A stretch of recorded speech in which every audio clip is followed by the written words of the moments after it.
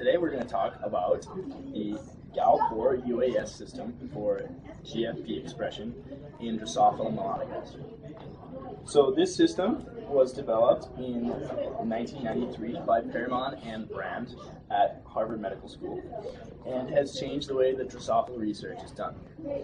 Um, green fluorescent protein is a naturally occurring protein which was um, discovered in jellyfish back in the 70s.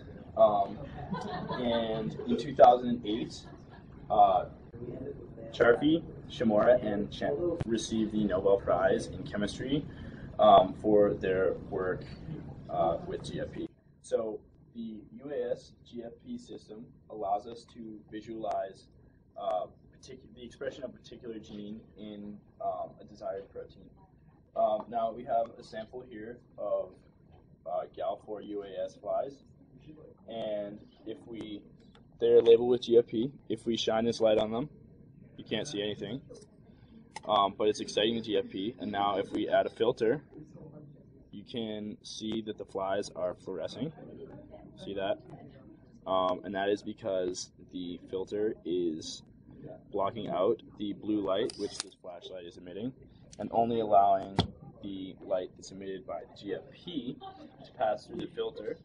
And as a result, you're able to observe the protein that's marked with GFP, uh, regardless of what tissue it's in. And now this is a very powerful tool for us because this allows us to observe the localization of the desired protein at the macroscopic level in different organs and at the microscopic level in different organelles. So there are a number of ways that GFP can be introduced into your organism of choice. Um, you can clone the GFP in yourself, which is pretty difficult, um, or you can buy a pre-assembled, if you will, uh, GAL4 UAS GFP system. Um, there are a number of institutions which sell these, including the Bloomington Stock Center, um, the National Institute of Genetics, and Kyoto DGRC. Um, and these are all institutes which maintain stocks of GAL4 UAS um, GFP expressing uh, transgenic flies. And um, so the Bloomington Stock Center is one of the most well-known institutes for maintaining Drosophila stocks in the United States.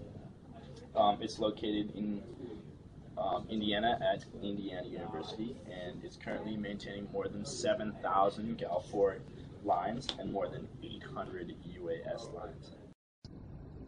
This educational video is brought to you by the University of Massachusetts Amherst in collaboration with Molecular Biology of Model Systems class under Professor Michelle Markstein. Thank you for watching.